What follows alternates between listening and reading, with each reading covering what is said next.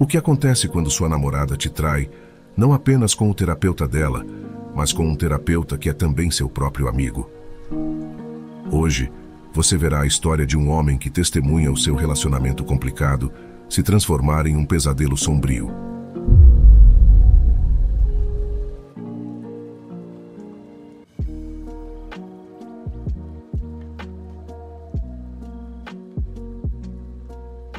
Eu tenho 27 anos e estive em um relacionamento com minha namorada por dois anos.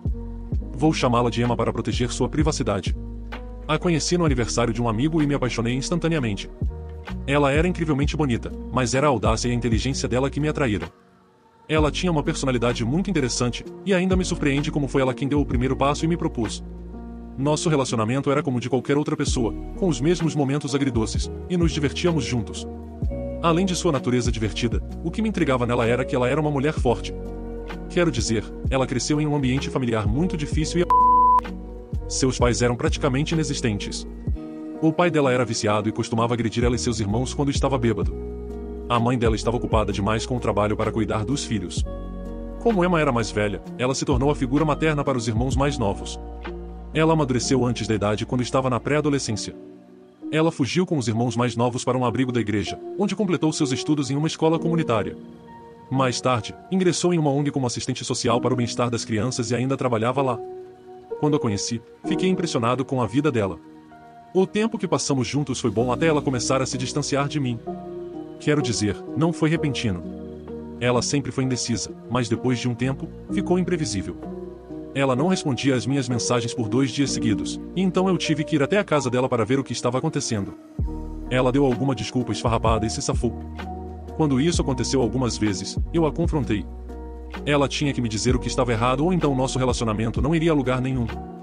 Foi quando ela me contou toda a história sobre seus graves problemas de ansiedade e depressão. Ela disse que sofria de depressão aguda desde a adolescência, e com o tempo piorou. Eu me senti muito mal por ela e a convidei para se mudar para minha casa. Eu nunca percebi que ela estava passando por um trauma assim. Eu pensei que ela estava colocando uma cara corajosa. Ainda me lembro de como ela tinha ataques de pânico extremos no meio da noite depois de se mudar para minha casa. Passei noites acalmando-a e a ajudando a superar. Fiz tudo o que pude para mantê-la feliz e calma. Os ataques de pânico pararam, mas ela ainda sofria de depressão. Eu sugeri que ela procurasse um terapeuta. Ela estava relutante, disse que já tinha visto um alguns anos atrás, mas não funcionou, e custou caro. Pesquisei e encontrei o perfil do meu antigo colega de quarto, que era terapeuta certificado. O chamei pedindo ajuda. Expliquei minha situação e ofereci a Emma o último horário disponível. Ela relutou em ir, dizendo que seria caro e um fardo para mim, mas pedi a ela que se concentrasse em sua cura no momento e não pensasse em dinheiro. A terapia dela começou, mas eu não via nenhum progresso mesmo depois de três meses. Perguntei ao meu amigo terapeuta, vamos chamá-lo de Alex, sobre isso, e ele disse que a cura mental leva tempo. Ele pediu que eu fosse paciente com ela, e eu fui. Foi quando nossa dinâmica começou a mudar. Ela parou de discutir seus problemas comigo. Quero dizer, ela procurava Alex para tudo. Tudo significa literalmente tudo. Mesmo se fosse sobre nosso relacionamento. Em vez de conversar comigo sobre isso, ela discutia com Alex. Quero dizer, eu entendo que ele era o terapeuta dela, mas qualquer coisa que envolvesse eu deveria ser discutido comigo para que pudéssemos resolver juntos. Eu ainda aguentei isso no início, mas quando começaram a se encontrar fora das sessões de terapia e se tornaram amigos, minha insegurança surgiu. Eu meio que me senti uma terceira pessoa no meu próprio relacionamento. Não era sempre que eles me convidavam para se juntar a eles, mas uma vez que eu apareci com eles para jantar, ambos estavam tão imersos um no outro como se eu fosse invisível. Eu estava frustrado, mas ela parecia feliz e pensava que talvez eu estivesse exagerando em tudo. E ela só estava tentando se curar. Uma vez, acordei no meio da noite para encontrar Emma chorando e falando com alguém na sala de estar, entendi imediatamente que era Alex. Me senti tão mal como se minha presença não fosse digna dela. Eu estava ao lado dela, e ainda assim, ela escolheu ligar para Alex no meio da noite para compartilhar seus pensamentos. Quando ela voltou para a cama, viu que eu estava acordado. Não consegui segurar e perguntei o que estava errado, e ela me disse que era apenas um ataque de ansiedade. Perguntei por que ela não me informou. Ela me disse que não queria ser um fardo para mim, e conversar com Alex ajudava mais do que conversar comigo. Ele fornecia ajuda profissional. Não consegui dormir. Depois de ouvir isso, não consegui conter minha insegurança porque ela parecia tão relaxada e feliz com ele, mas ela ficava em silêncio perto de mim. No dia seguinte, eu disse a ela que me sentia como se fosse inexistente em sua vida porque ela não compartilhava nada comigo. Também a confrontei dizendo que encontrar Alex após a terapia não era ético. Tentei ser sutil em minha abordagem para não provocá-la. Eu disse que Alex era meu amigo e foi gentil em emprestar seu tempo em horas estranhas, mas não deveríamos explorar isso. Ela ficou na defensiva e me perguntou se eu queria que ela se curasse ou não. Ela me chamou de controlador e disse que eu estava desconfiando dela desnecessariamente. Depois de alguns minutos, ela começou a hiperventilar e fiquei assustado. Tentei acalmá-la e ela me afastou, dizendo para não tocá-la ou ela se. Eu fiquei muito assustado. Saí do quarto e dormi na sala. Na manhã seguinte, ela disse que queria um tempo para focar na sua melhoria, e voltou para a casa dela. Dormi inúmeras noites com um medo constante no coração de que, se eu dissesse algo assim para ela novamente, ela faria algo horrível. Então, decidi manter meus pensamentos para mim e não pensar demais na situação. Dei a ela o tempo que ela precisava para se curar. Já havia mais de um mês desde que ela tinha se mudado, e fui falar com Alex para perguntar sobre o progresso dela. Quando cheguei lá, vi ele saindo de sua clínica com a Emma. Senti um gosto amargo na boca enquanto eles partiam. Fiquei muito desconfiado. Liguei para Emma, mas ela não atendeu minha ligação. Em vez disso, recebi uma mensagem dela dizendo que não podia atender agora porque estava na igreja. Ela mentiu para mim sobre o encontro com ele. Decidi parar de ser iludido e finalmente confrontá-la sobre isso. Fui até a casa dela. Perguntei diretamente onde ela estava no último dia. E ela disse a mesma coisa novamente. Eu disse a ela que a vi saindo com o Alex. Ela distorceu, dizendo que Alex estava indo na mesma direção. Ele ofereceu para levá-la à igreja antes mesmo de eu dizer qualquer coisa. Ela começou a me ameaçar emocionalmente. Seu comportamento me deixou ansioso e me senti um idiota por tolerá-la. A ansiedade ou depressão dela não lhe dá o direito de fazer a outra pessoa passar pelo mesmo trauma. Ela não estava tentando proteger sua paz. Neste ponto, ela estava apenas evitando o confronto, e sempre que eu tentava perguntar algo, ela apenas jogava a carta de vítima e me calava. Eu não sabia o que fazer, então dei a ela um tempo. Ela praticamente sumiu. Fui novamente encontrar Alex. Perguntei sobre o progresso da Emma e ele me disse que ela estava melhorando. Senti que ele estava frio comigo, como se não estivesse interessado em me encontrar. Seu telefone começou a vibrar com chamadas da Emma, piscando na tela. Ele se desculpou e entrou. Liguei para Emma e o telefone dela também estava ocupado. Eu sabia que ela estava em uma ligação com Alex. Eu estava cansado do relacionamento e fui confrontar Emma de frente. Eu disse a ela que a proximidade deles estava me incomodando muito. Ela me ouviu quietamente no início e depois começou a me criticar, dizendo que eu estava com ciúmes, que fracassei como namorado e não a forneci conforto. E agora que Alex estava ajudando ela, eu tinha problemas com isso. Ela se levantou e começou a chorar como uma louca, dizendo que se eu começasse a culpá-la novamente, ela cortaria os pulsos e se. Fiquei realmente assustado e tentei acalmá-la, mas ela simplesmente não queria me ouvir e pediu para eu sair antes de voltar atrás. Eu disse a ela que ela estava apenas tentando se esconder atrás de seus problemas e que isso não era uma coisa boa de se fazer. Depois de sair do nosso apartamento, literalmente chorei como nunca. Minha ansiedade estava se acumulando dentro de mim e eu precisava explodir. Liguei para meu amigo próximo James e contei a ele tudo o que aconteceu e pedi conselhos a ele. Ele disse que ela estava literalmente se escondendo atrás de seus problemas e que eu deveria deixá-la fazer o que quisesse por um tempo. Na verdade, James me indicou este espaço para desabafar e me conectar com pessoas de mente semelhante. Ansioso para me conectar se alguém tiver sugestões. Minha condição é bastante sensível e quero ter cuidado ao lidar com a Emma. A atualização. Já faz um tempo desde minha última atualização. Eu estava passando por um momento difícil com a Emma e tinha ansiedade durante todo esse tempo. Ouvi o conselho de James e deixei a Emma por conta própria por um tempo antes dela tentar me procurar por conta própria. Depois de um tempo, ela me mandou uma mensagem e perguntou se podia vir até mim. Concordei. Ela veio com flores e me abraçou. Ela parecia extremamente feliz e melhor. Conversamos e ela me contou sobre tudo o que aconteceu nesses dias e pediu desculpas pelo seu comportamento. Perguntei a ela se ainda estava se encontrando com Alex, e ela disse que as sessões ficaram mais curtas e agora é uma vez por semana, e que ela estava tomando medicamentos. Fiquei feliz ao saber que ela estava finalmente tendo algum progresso. Isso foi ótimo depois de muito tempo. Ela estava apenas dormindo e o telefone dela estava tocando continuamente por volta das duas da manhã. Isso aumentou minha curiosidade e eu olhei para o telefone dela e tentei desbloqueá-lo, mas ela havia trocado a senha. Deixei como estava e fui dormir. Na manhã seguinte, a deixei em sua ONG e fui para o meu escritório. Durante o dia, perguntei a ela se ela queria que eu a buscasse no trabalho. Ela disse que estava super ocupada e que viria na minha casa um pouco tarde ou talvez ficasse apenas na casa dela. Voltei para minha casa, e depois de um tempo, tentei ligar para ela, mas ela não respondeu e nem respondeu a nenhuma das minhas mensagens. Esperei até meia-noite e ainda não recebi resposta, então dormi. Minhas mensagens ainda estavam não lidas de manhã. E isso me assustou, e fiquei preocupado pensando se ela estava bem. No caminho para o meu escritório, fui até a casa dela para ver se estava tudo bem, mas o apartamento estava trancado. Liguei para ela e ela não respondeu, então liguei para a amiga dela, Sophie, para ver se ela estava com ela, mas ela me disse que não estava e que Emma saiu do escritório bastante cedo ontem. Fiquei assustado. Não sabia o que fazer ou a quem perguntar, então fui para o trabalho. Estava cansado da instabilidade dela, demonstrando amor em um momento, depois me ignorando em outro. Eu estava exausto, e eu só queria falar com ela e perguntar o que ela realmente queria de mim e desse relacionamento, mas suas reações passadas me deixaram traumatizado. Eu não conseguia terminar o relacionamento, nem conseguia consertá-lo. Depois de várias horas, ela finalmente me ligou, e pela voz dela, ela parecia bem. Perguntei a ela onde ela estava. Ela me disse que estava ocupada com um novo projeto da ONG para educação infantil e ficou na casa da amiga Sofia a noite toda, e foi por isso que ela não pôde me ligar de volta. Fiquei em silêncio e meu coração estava batendo muito forte diante das mentiras dela. Eu sabia que algo estava acontecendo, e em vez de agir como um idiota, era minha hora de agir. Eu disse a ela que queria encontrá-la, então ela podia vir até mim ou eu iria até ela. Ela me disse que estava realmente cansada e pediu para eu ir depois do trabalho. Fui até o lugar dela.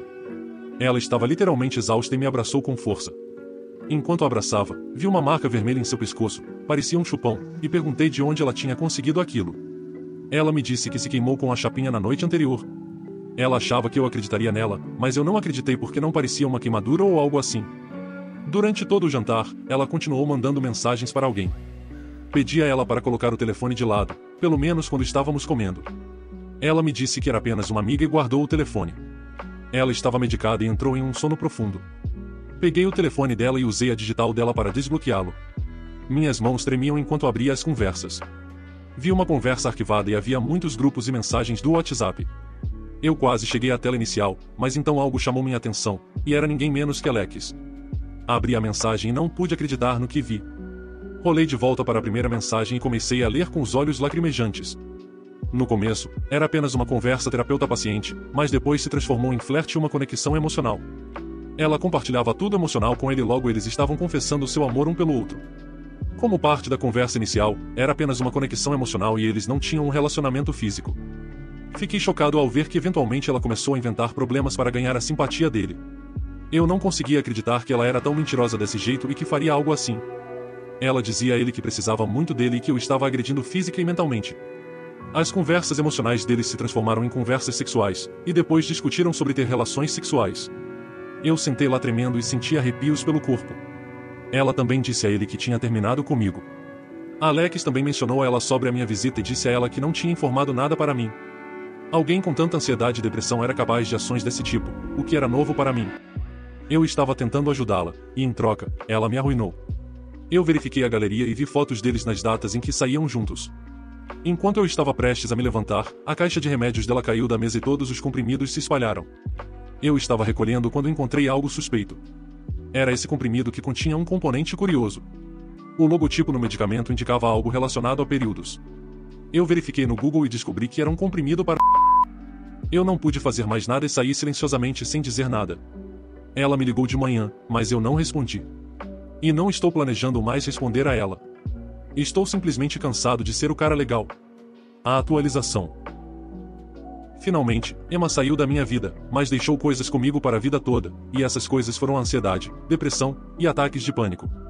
Percebi que, no processo de ajudá-la a se curar, fiquei ansioso. De qualquer forma, depois de descobrir a verdade, a deixei imediatamente e não falei com ela de jeito nenhum, eu a ignorei completamente porque não tinha coragem de confrontá-la. Voltei para a casa dos meus pais e tirei alguns dias de folga. Compartilhei tudo com minha mãe e minha saúde física e mental desmoronaram miseravelmente. Minha mãe me aconselhou a buscar encerramento com ela e deixar tudo sair, porque guardar as coisas só faria mais estragos. Eu estava confuso, mas depois decidi encontrar Alex primeiro.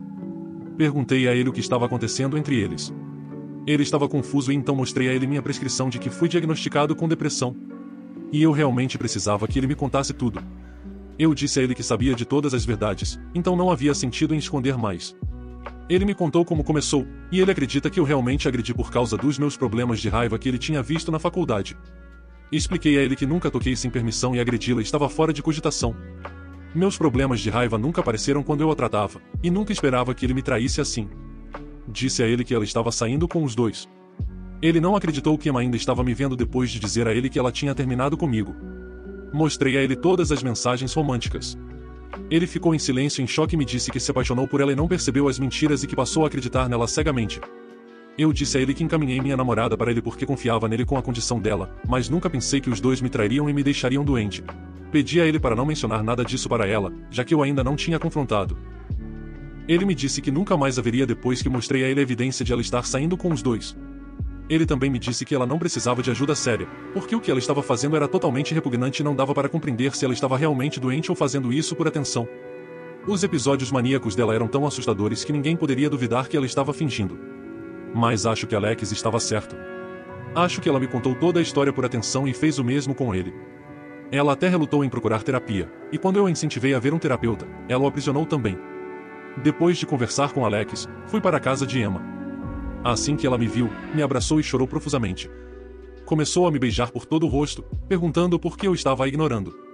Ela chorava e entrava em pânico como se fosse desmaiar. Eu percebi que era assim que ela sempre me manipulava emocionalmente. Eu a afastei e pedi para ela parar de fingir e confrontar a verdade. Ela me olhou confusa e perguntou sobre o que eu estava falando. Eu disse a ela que sabia de toda a verdade, então ela poderia deixar de lado suas habilidades de atuação por um tempo. Ela me olhou incrédula e começou a hiperventilar. Eu fiquei lá enquanto ela agia como se estivesse sem fôlego.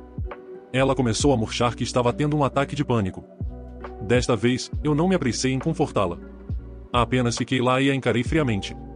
Ela se arrastou até a cozinha, tentando pegar água. Estava respirando tão pesadamente que eu podia ouvir sua respiração por toda a sala de estar. Se eu não soubesse a verdade, teria caído novamente em suas habilidades de atuação. Ela trouxe o copo d'água e o engoliu de uma vez. Veja só a atuação dela. Qualquer pessoa que esteja tendo um ataque de pânico beberia água assim que a encontrar e não faria um ato na frente dos outros. Ela sentou no sofá tentando se acalmar e me lançando um olhar nojento.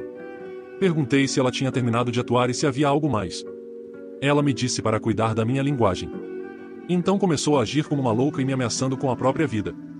Eu me levantei e gritei com ela para sentar direito e parar com toda essa babaquice.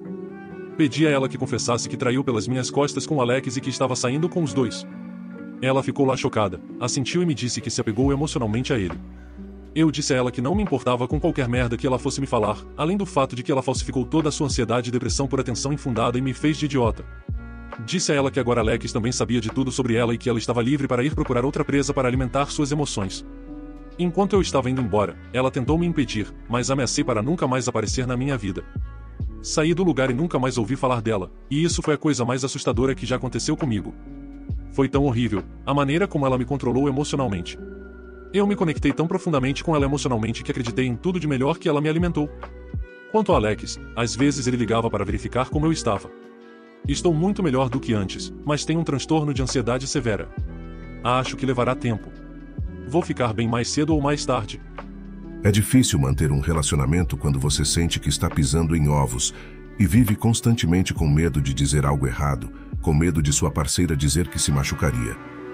Claro, a Emma pode ter ansiedade e depressão, mas definitivamente usou isso contra o autor.